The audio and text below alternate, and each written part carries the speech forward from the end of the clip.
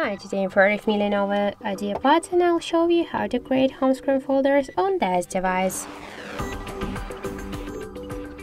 So just to create a new folder on your device home screen, you should hold the application and drag this up to another one. And now we can see here a new created home screen folder. By the same way, we can add here more applications if you want. Just to give a name to this folder, we should click once on the name and after that enter the new one, for example the apps. Tap here to done and now we can see that we just successfully renamed this folder. If you want to move this folder on the screen here, just hold it and just drag it just to change the position of the folder on the home screen.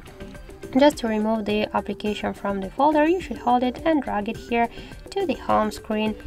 If you wanna stay with application with this application on the home screen just you can remove all of this application from the folder.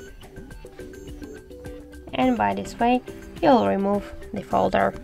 So that's it. Thank you for watching. And if you find this video helpful don't forget to leave a like comment and to subscribe our channel